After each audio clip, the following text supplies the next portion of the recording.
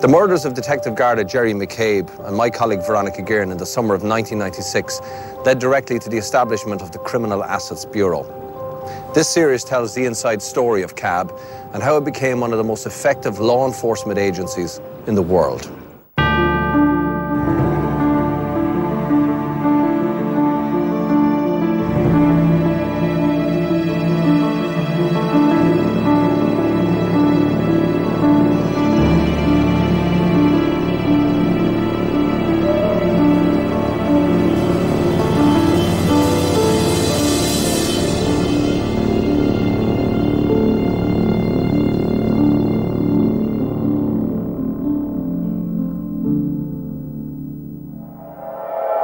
1850 715 815. John Daly's on the line. John, good afternoon to you. How's it going? All right? Yeah, you're in Port Portlaoise prison at the I'm in moment. Portlaoise. Now, Mr. Williams, how many thousand people did you say read your newspaper every Sunday? Uh, almost a million. Do you know how much lies you tell every week? Saying that we carried out armed robberies when I get out on my review. I did not get arrested for any armed robberies. You're in prison serving how many years? Doesn't matter how many years I'm serving. Actually, where do you get the mobile phone to ring out? Get off the phone, you fucking liar.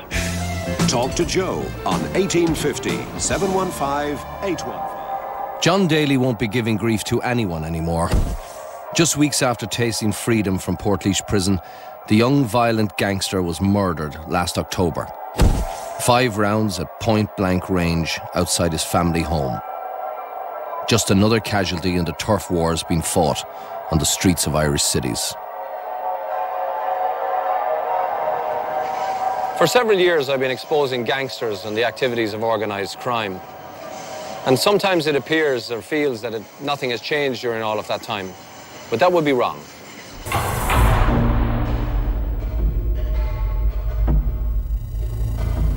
For many years, Ireland could best be described as a thieves' paradise. In the 1980s, as the country was going bust, crime was booming. These halcyon days, a gangster could live openly in his luxury mansion and enjoy the life of a high flying executive despite having no gainful employment or a visible means of income. Once a week, he could hop into his top of the range Jaguar or Mercedes and whiz around to the local labour exchange to collect his unemployment benefit. Then later, if he was feeling energetic or needed some real money, he and his cronies could pick out a bank and make a cash withdrawal with the help of a sawn off shotgun. He could then use the cash to buy in several kilos of hash, heroin, or cocaine and have his flunkies distribute it for him. All he had to do was sit back and wait for the money to roll in. And if the cops got lucky, they might put a crime boss away. But they could do nothing about his dirty money, and it sat there safely in a bank vault waiting for him to collect upon his release.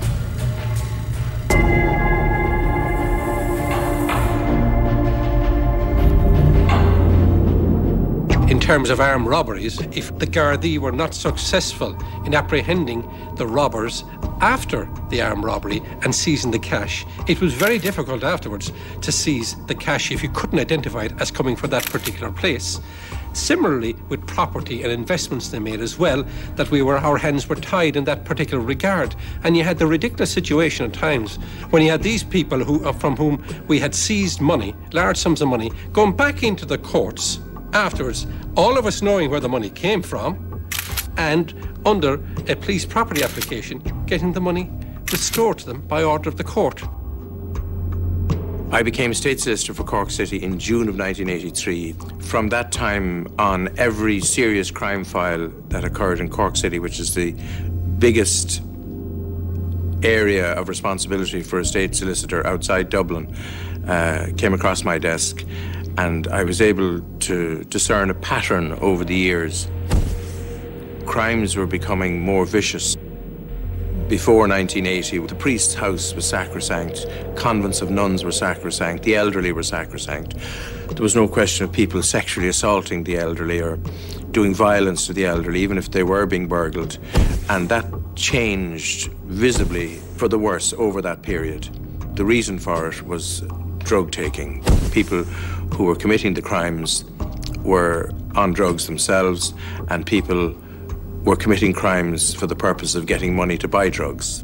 I've represented Dublin Southeast now for nearly 30 years, And I saw in those inner city communities um, before the Celtic Tiger families struggling to put bread on the table and being affronted by gurriers uh, who were relatives of small drug dealers, who were runners for the bigger drug dealers, who were flaunting their wealth, and who were making a mockery of people trying to get up early in the morning and go to work.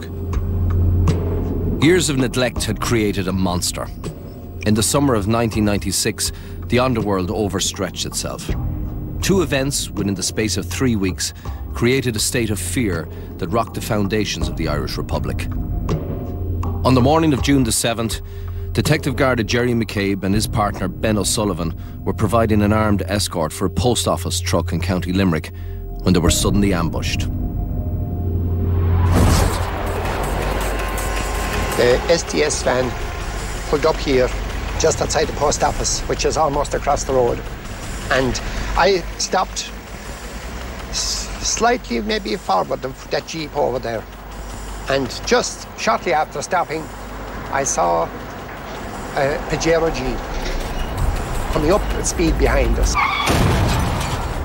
I saw a group of men, individuals, to my right, as in the 10 past 2 position.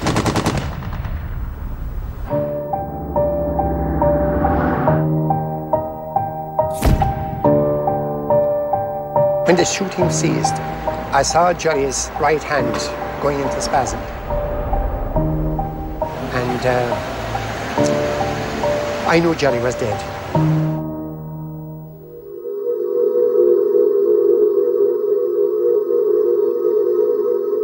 Very quickly, our intelligence indicated to us who was responsible. Uh, that it was a, an active service unit of the Southern Command of the Provisional IRA. While lots of people were trying to suggest we keep an open mind for whatever reasons, we focused straight away on the main culprits because we knew our intelligence was good and we knew who had carried it out.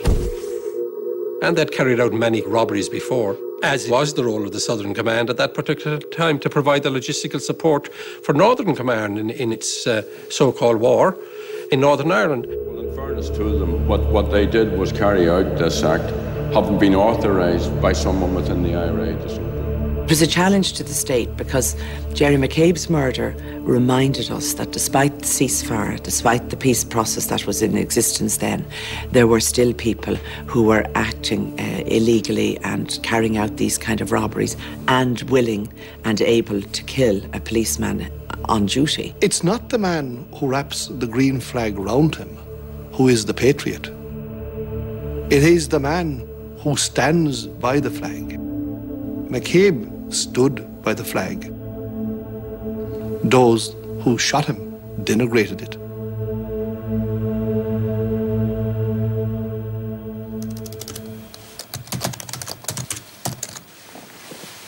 Just three weeks later, while the investigation into the McCabe murder consumed the force, the aftermath of a court case in Naas terrified the Irish public.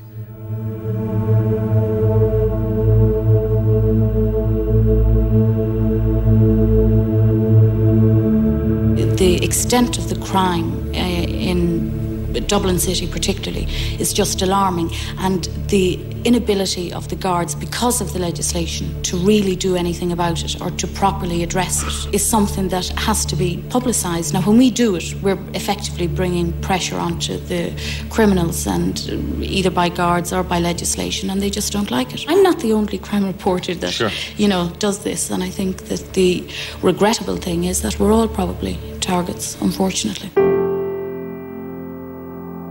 Veronica Guerin was a colleague of mine, and she'd exposed some of the kingpins of the crime scene in Ireland. And for that, someone decided she had to die. On the afternoon of the 26th of June 1996, Veronica was shot five times at point blank range with a powerful Magnum handgun as she sat in traffic on the Naas Road near Dublin. Despite the fact that there was an attack in her house and she had been shot, I don't think uh, that anybody would visualize a situation prior to the 26th of June of 96 where anybody would even have thought of uh, assassinating her. I think this is the most dangerous, more dreadful precedent ever been set in Irish gangland. I think if this, these guys get away with this, God knows where it's going to go. Who's next? You knew Veronica. Mm-hmm. The Veronica you knew wasn't an awful lot different to the Veronica I knew. She didn't have um, a public persona. She was the same all of the time. And she loved her job. She loved her job. Tell me about the day, the time that you heard Veronica had been murdered.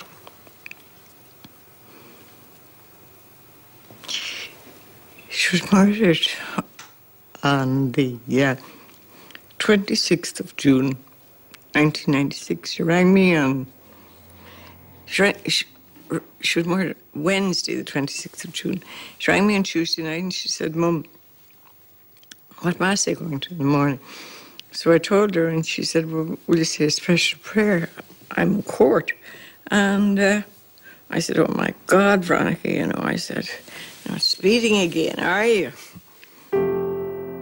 The next day, Veronica appeared at Naas District Court to face the music for a speeding offence. The judge was lenient. He fined her £100. Veronica thought this was her lucky day and called her mother with the good news.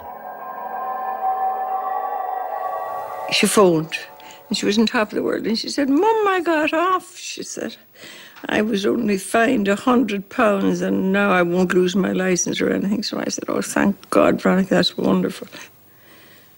Tony Hickey told me afterwards.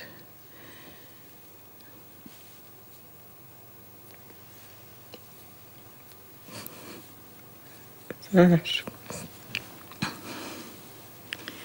three minutes and 48 seconds after we spoke,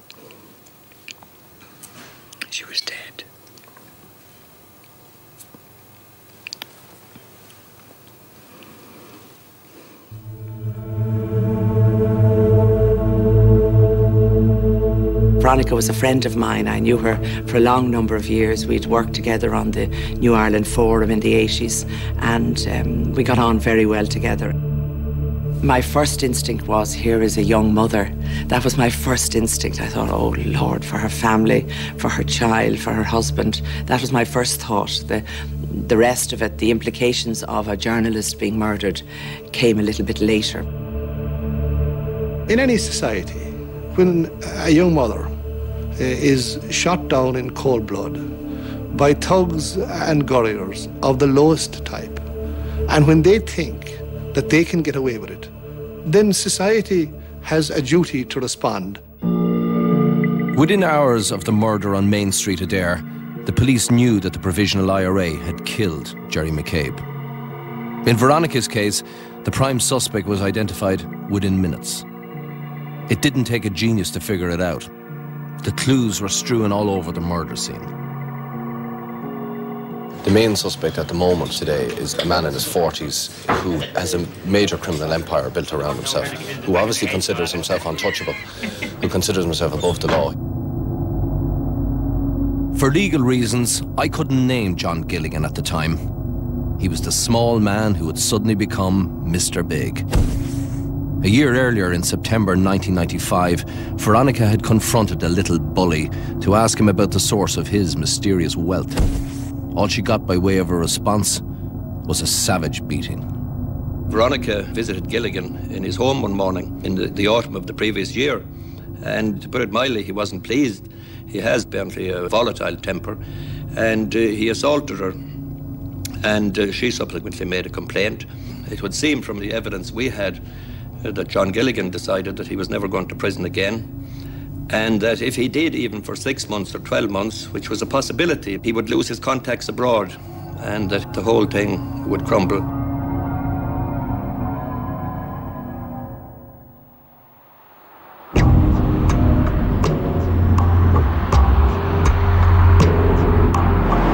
Coming so soon after Adare, there was now a feeling that nobody was safe a ruthless drug gang had just joined the IRA as the enemies of the people.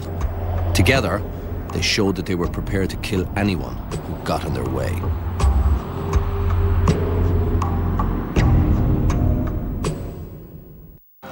Who brings in the guns?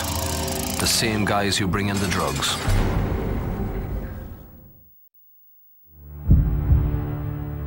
That a journalist should be callously murdered in the line of duty is an attack on democracy as a whole because it is an attack on one of the pillars of our democracy.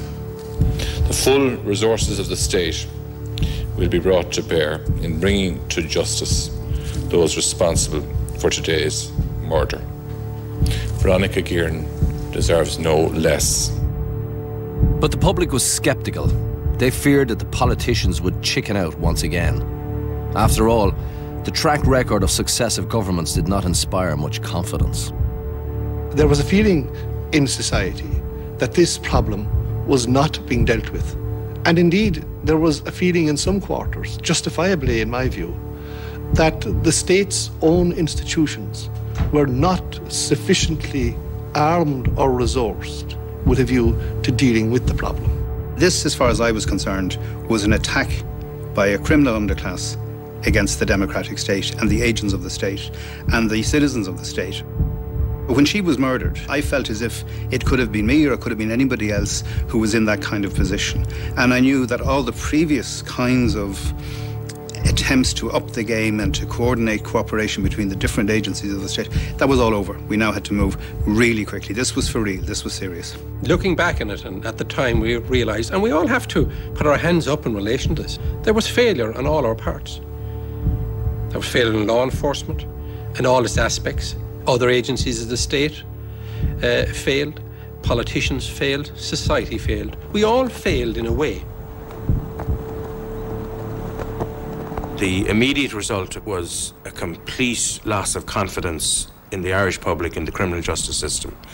And it was more or less an obvious consequence of the lack of action up to then. The criminal underworld, particularly those involved in drug trafficking and to an equal extent organised crime, had got so powerful that they were now literally taking on the state and the government and the press. I mean, Veronica Guerin's death was directly attributable to her bravery in publishing the articles in ever increasing detail about people flaunting criminal wealth.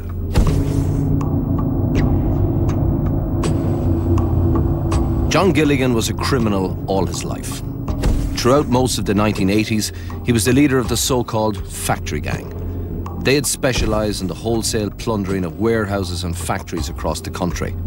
In 1990, he was finally caught and jailed for four years. Hey, John, hey, hey, look around here now, John Gilligan. Oh, he's about 14 feet. Oh, he's gone down to 5 plus 6. Oh, he's gone up another 14 feet.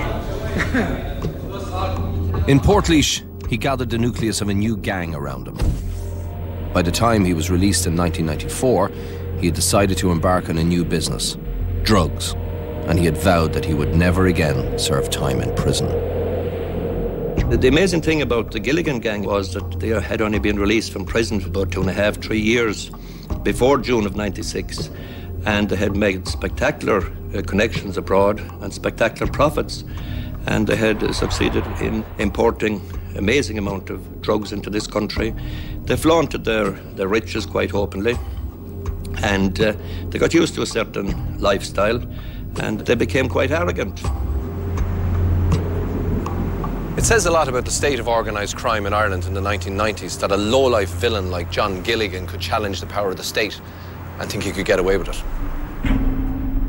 For many years, drug dealers, gangsters, and terrorists exploited lax laws and loopholes to protect their fast crime profits. With so much wealth, they considered themselves untouchable, and no one was going to take it away from them. For almost two decades, armed robbery was the stock and trade of a generation of young criminals. But by the late 1980s, the gangsters soon realised that one good drug deal could earn them a lot more money with a lot less risk than a few bank jobs. I suppose in 1979 the big development in the city of Dublin was that heroin arrived, and the Dunn family are credited, uh, quite rightly so, with bringing heroin in pretty large quantities into the city.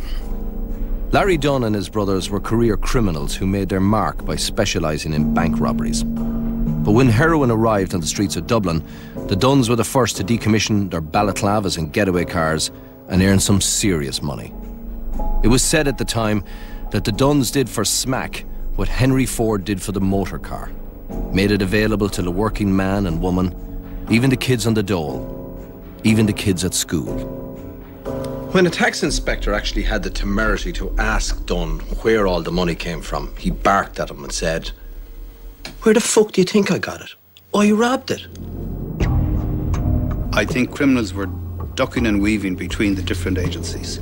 They were making a nonsense of the tax system at one level, they were making a nonsense of the law, where in fact money that they couldn't establish the origin of was still their money and they could go into a Garda station and famously get their money back.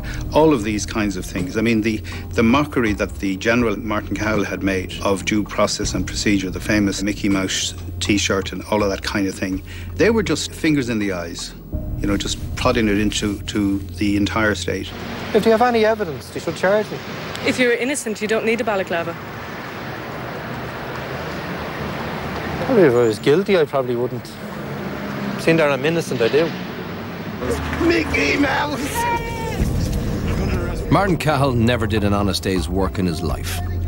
Yet he could afford to buy a big house in Rathmines and had enough money to support his wife, her sister, and their nine children on the proceeds of burglaries, robberies, and kidnapping, while all the time drawing the dole. It was quite obvious what was happening in local communities. When ordinary decent people were getting up in the morning to go to work at six and seven o'clock and heading off, and seeing certain people in the community who never got out of bed until about 12 or 1 o'clock in the day, didn't bother to work, but had a brand new car outside the door, had all the house done up with the best of furniture. This was being replicated right around the country. This security footage sums up the era of the thieves' paradise.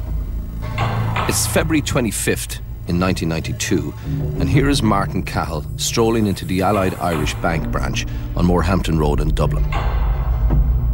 He lodges over £20,000 in cash, most of it in £50 notes, which he changed for a bank draft. The bank draft is later used as a deposit to buy a house. 30 minutes later, two armed raiders enter the bank and head to the same counter where Cahill had earlier lodged his cash. During the two minute heist, one of the raiders demanded to know where the rest of the 50s were kept. They left with £11,000 of Martin Cahill's original lodgement. Increasingly, I was aware that the General, um, Mr. Cahill, was not just sticking to his own trade and robbing and stealing, but there was an element of fear coming through the community. In public, the General posed as a joker and a showman, but there was a sinister, sadistic side to the character of Martin Cahill. And then I read about the event where the social welfare official who had uh, knocked him off his monies uh, was taken out, captured by the general and strapped to the railway line at the back of Queen of Peace Church in Merrion. And apparently, Cahill then shot him, fortunately with no great permanent injuries. But we were talking about this at home some weeks later, and my niece, who was in an apartment quite close, said, I heard that. I heard that guy screaming. And I sort of said to myself, what kind of a society is it that allows people to do these kinds of things? And what kind of democracy is it that allows people elected to power and office like myself to tolerate a situation where they have the impunity to act like that and not have the full rigours of the state on behalf of ordinary decent citizens come down and hit them hard? One public servant, Dr. James Donovan, the forensic scientist central to a Garda case against Martin Cahill, was the victim of a sinister attack. In January of 82, I was driving the car, but suddenly, as I looked through the windscreen, the windscreen sort of disappeared into blackness. And um, there was a, a, cl a, cloud of dust with a, a tongue of flame in the middle of it. And then, almost a considerable amount of time afterwards, I heard the noise.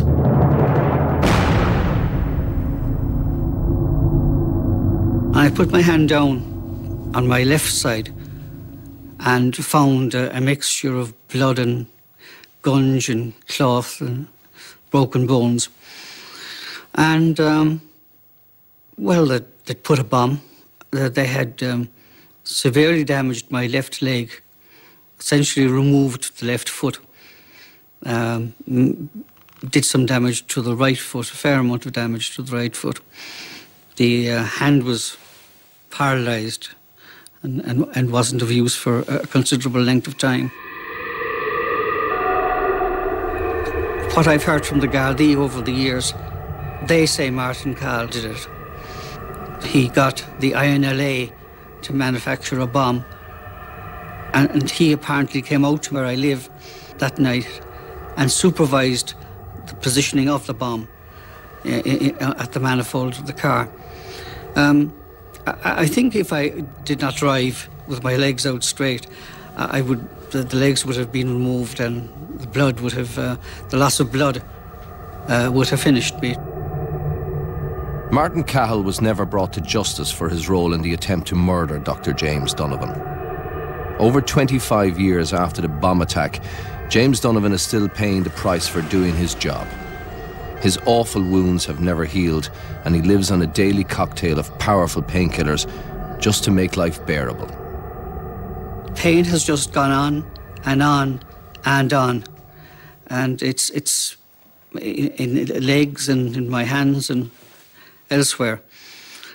The, the left foot gets infections, or otherwise it it, uh, it, it just gets it just decides to bleed. I don't know why. I don't know how long it's going to bleed, but obviously I've got to dress it twice a day. I, I can never forget, I can never put what happened behind me and say, well, that's, that's it. I had always thought that I could put a square around the event and forget, forget it. But I can't forget it, ever.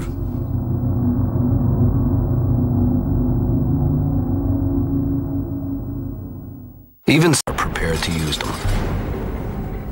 Who else will name and shame the drug lords?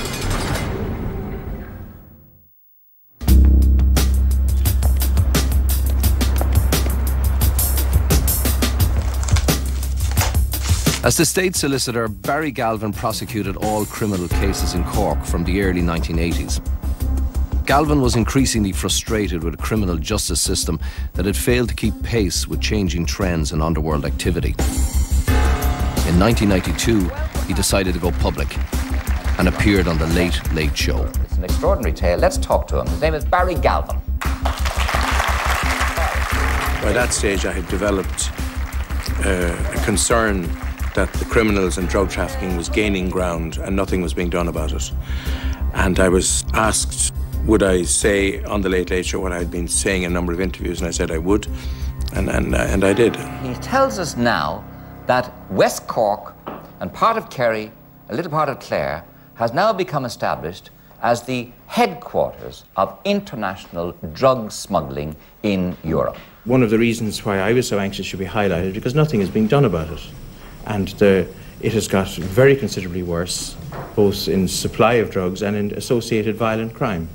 Are we talking about major drug dealers? You're Big talking business. about the biggest drug dealers in Europe. And why have they come here? Because they've been run out of everywhere else. Why can't these guys be got? Well, they can be got if there's the political will to do it. These people have huge means, very high lifestyle. Um, they're laundering money throughout legitimate business in Ireland. And the most obvious way of catching them is under the existing tax code. They can be caught now if, if the right thing was done. I was quite amazed at the reaction. The reaction, particularly from the government, was uh, an effort to suppress it and to belie it as being untruthful. The Minister for Justice at the time, Pádraig Flynn, rubbished Barry Galvin. He informed the Dáil in his uniquely pompous style that Galvin had been questioned and his claims found to be exaggerated. While there was, he said, a drug problem, it wasn't on the scale suggested by the state solicitor for Cork. I was even more annoyed that, having highlighted it, that instead of dealing with it, taking it on and saying there is a problem and we're going to fix it, they just tried to make it go away, and it clearly wasn't going to go away. And of course, that was, to, to, to, as far as I'm concerned, misleading the Dáil because he knew at the time that there was a serious problem because the reports that I had on file were available to him as Minister for Justice. he organised that two senior Gardaí would come to Cork to interview me to check that what I was saying was correct. And one of those guards was um, senior guard Tony Hickey, who I worked with closely afterwards in Dublin. And of course, they knew that they were being sent on a fool's errand because they had exactly the same information that I had before they came down. But the government persisted in trying to maintain that what I was saying was not correct. But not everyone in Fianna Fáil took the party line on Barry Galvin from P. Flynn. I worked as a solicitor in Limerick in the late uh, 1970s. I worked on the Free Legal Aid panel. I saw at first hand what uh, the destruction of people's lives uh, by uh, criminals could achieve. And I appreciate today that people like uh, Barry Galvin stood in the gap when others did not do so. Padraig Flynn can have his opinion and he's entitled to it. My opinion is entirely different. My opinion accords with Barry Galvin's. Events on the streets prove Barry Galvin had been right all along. In the summer of 1994, Martin Cahill was gunned down by the IRA. Some say with the assistance of John Gilligan and his gang. A week after the hit, two of Gilligan's leading henchmen, Brian Meehan and Peter Fatso Mitchell, were stopped with a carload stuffed with £46,000 in cash. In 1994, I think it was, 30,000 in pounds in cash was seized in, the, in, his car. He obviously would have had no legitimate explanation for having 30,000 uh, pounds at the time. And yet, in a, shortly afterwards, in a police property application, uh, John Gilligan came and claimed the money was his. John Gilligan told the court that the money belonged to him and that Brian Meehan, a close friend of his, had been minding it. The judge gave it back to him. There was a similar incident in England where I think it was 70,000 uh, the pounds of sterling was seized, police property application was made, and he had to be given back the money. And I have been informed anecdotally that on a number of occasions subsequently, when Gilligan was stopped in possession of money and asked where did he get the money, he produced the receipt from HM Customs and Excise for the money that they had given him back the first time. John Gilligan was creaming it. In 1995, he splashed out the equivalent of 100,000 euro for new cars and jeeps for himself and his children alone. One gang member used to store his drug money in a laundry basket, and when it was full, he went out and got another laundry basket. Peter Mitchell once complained to the Gardaí that the media had misrepresented his earning power. I don't earn 50 grand a week, he said. Nothing like it. I only earn 30 grand a week. And that's the fucking truth, lads.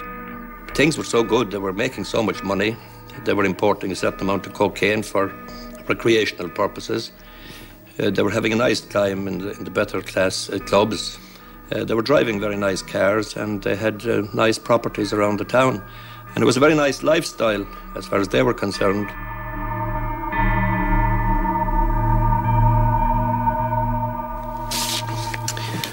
At one stage, Gilligan was served with a tax assessment. Uh, he wrote the words fuck off on the back of it, put it in an envelope, and sent it back to the taxman.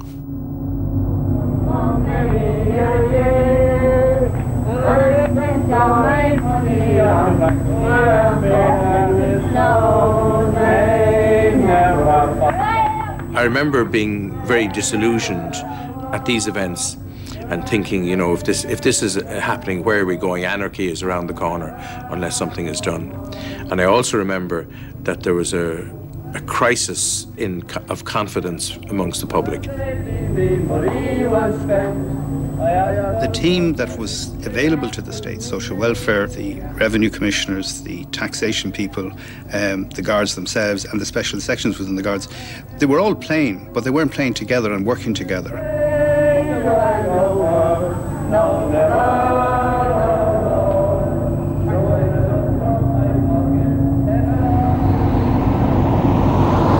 There was a, a breakdown of communications, might be a nice way to put it.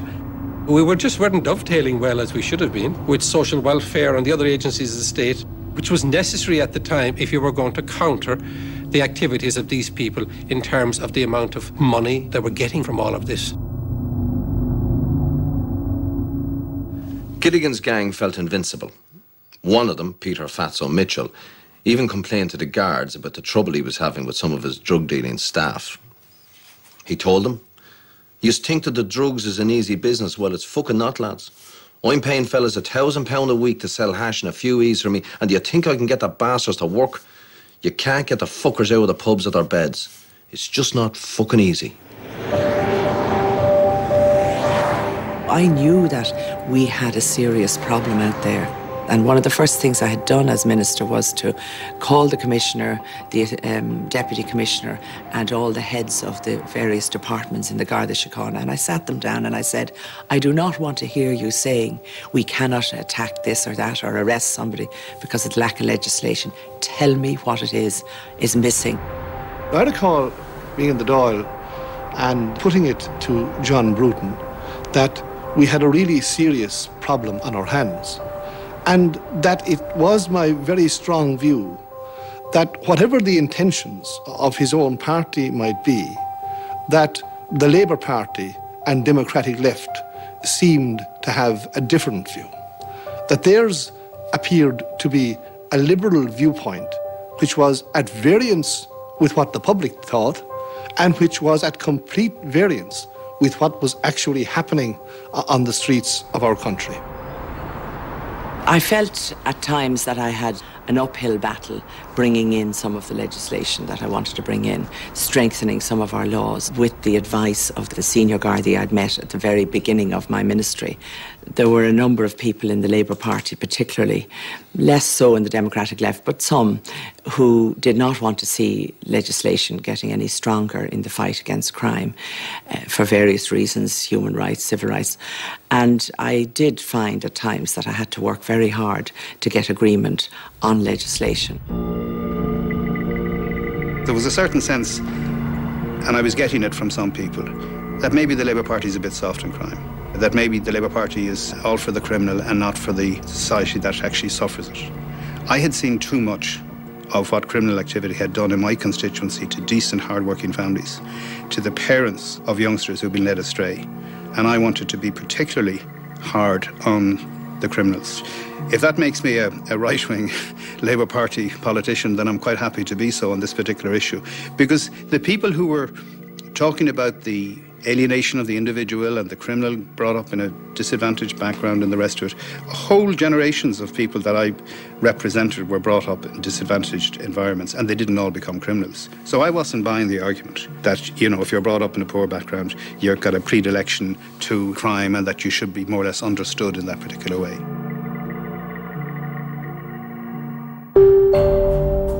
Irish crime bosses hadn't much to fear in the summer of 1996. The government was divided internally. The agents of the state were not working together and didn't know the true extent of organised crime. The state was weak, the people vulnerable, and the gangsters had the upper hand.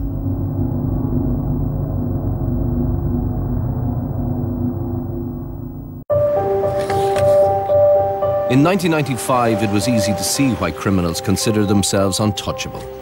They were literally getting away with murder and making lots of money at the same time.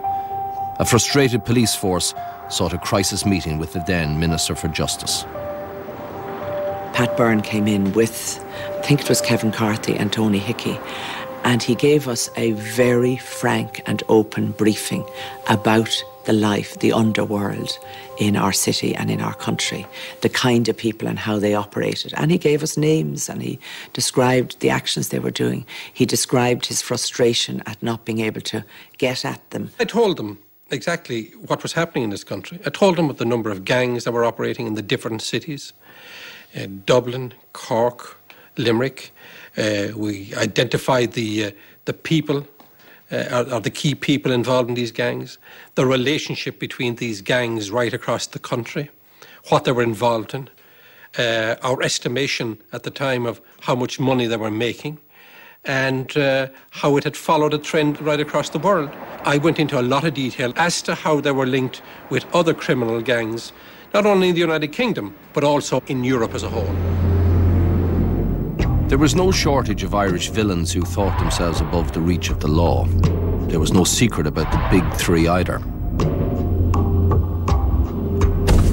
Gerry the Monk Hutch had started his career as a handbag snatcher and graduated to enjoy his reputation as Ireland's most successful bank robber. Hutch was moving into property development and could openly walk the streets. George the Penguin Mitchell. He had his hands in all the pies. He gorged himself on the proceeds of robberies, rackets, and drug trafficking. And the diminutive John Gilligan, who dreamed one day he'd be top of the world. He openly paraded his multi million pound wealth from drugs. And always remember, money brings influence. You have young people coming up who looked up to these people and said, this is the way to live. Because a lot of them were flaunting, flaunting their wealth and what they had achieved through criminality over all these years. Gilligan, in particular, had got used to a certain lifestyle. He had this big horse place out in County Meath, Jessbrook, and he was flaunting his wealth in the most extraordinary way. And his children, his daughter, for example, had a flashy new car and money in her bank account, and yet she was claiming uh, lone parents' allowance. And likewise, his son, who was a petty drug dealer, was also claiming unemployment assistance. So these kinds of things were going on. Uh, I suppose human nature being what it is, there's greed and there's conflict, and as happens in every country in the world, when people reach that stage, they look around and they try and wipe out the opposition. I'd like to think that I am uh, sort of more conscious of things that may occur, but In 1996, the only opposition John Gilligan faced was from a journalist. Veronica Guerin had the cheek to ask Gilligan about the source of his riches and received a beating for her trouble. She pressed assault charges and was prepared to testify against the drug baron in open court. He had a history throughout his career of intimidating witnesses, and of course, he threatened Veronica uh, with dire consequences to herself and her family, in particular to her son uh, Cathal. Uh, nevertheless, she decided to, to pursue um, and to give evidence um, in, in the court case. Gilligan decided that if he was out of commission, even for six months and certainly for 12 months, that the international contacts would dry up because he was dealing directly with fairly major, pretty major players in Amsterdam. And um, I think that's what led to the murder in June of 96.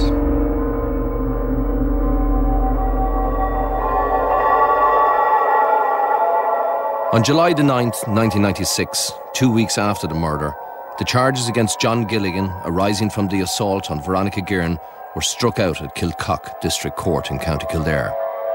The grounds were that the complainant could not proceed with the case. Veronica Guerin was dead. The name Veronica means image of truth. And I think for a journalist, that's, that's a lovely name. Yes, yeah. the image of truth.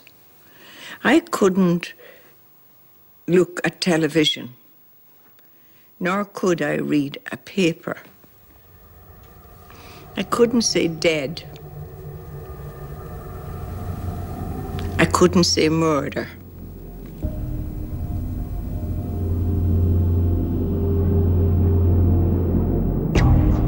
A mother and a journalist and a very decent, decent woman who was a particular friend of mine could be killed in broad daylight in, in, in this country.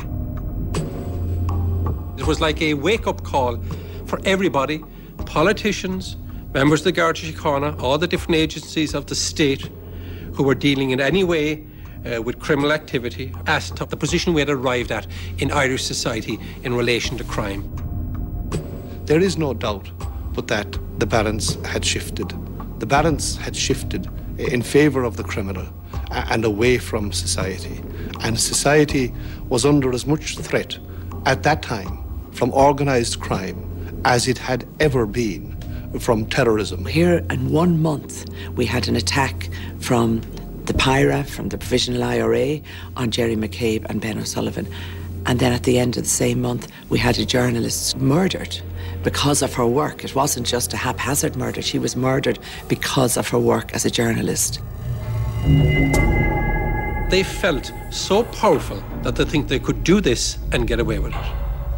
We made our minds up. they were not going to get away with it. They were not going to get away with it. Everybody realised that to follow up an organised crime, you got to follow the money. You've got to get that and where it really hurts. We knew we had no time. We wanted to, like, really just go full blazing at this. Once Veronica's murder galvanized our minds, we just knew we had to go for it and go for it with a very, very concise and, and very, very rapier like instrument. That seminal moment in which Veronica was shot, I think, woke people up. It was a shock to the system, to everybody in the country, that, you know, these people are gaining the ascendancy in our society and we have to stop them. The people wanted action, and they were about to get it. This time, the state would mobilize its muscle and show that it had the power to fight back. For once, the heat will be on the hoods.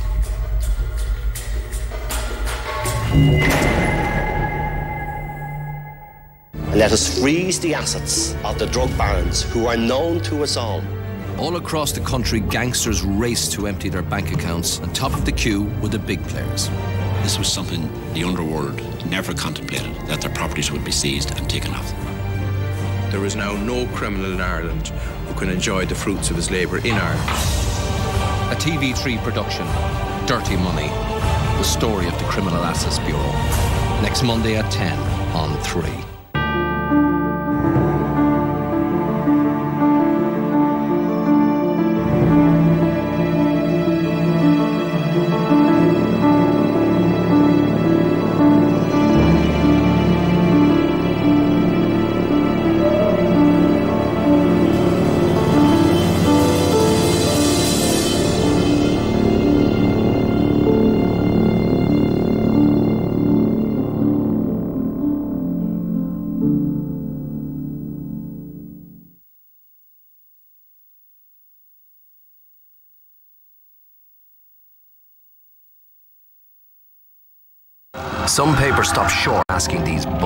Bully but we don't. Dirty Money in association with the Sunday World. Caffeine can help you through your day. They can relieve your cold symptoms so you can get back on your feet. Lemsip, here to help. That was an amazing win. How do you feel? I feel great. I feel I feel awesome. A lot of people wrote you guys off early this year. Doubts. No doubts. What's it like to be part of sports history? I I have no idea. Can't find the words? No, I'm not on the team. I'm just here for the Bud Light. I can, I can get you one. It's a cooler right over here. Are you sure? Woo! Enjoy the lighter side of life. Make